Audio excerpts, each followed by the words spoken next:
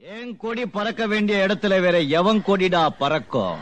குறும்பர் குலத்து சிங்கமே கொள்கை குன்றே குணமே வா திரும்பும் திசையெல்லாம் உந்தன் கிளைய படையோடு வா வா. எறும்பை போல ஒழித்து நீயும் இமய போல எழும்பு. கரும்பை போல இனித்து. ஏன் கொடி பறக்க வேண்டிய இடத்துல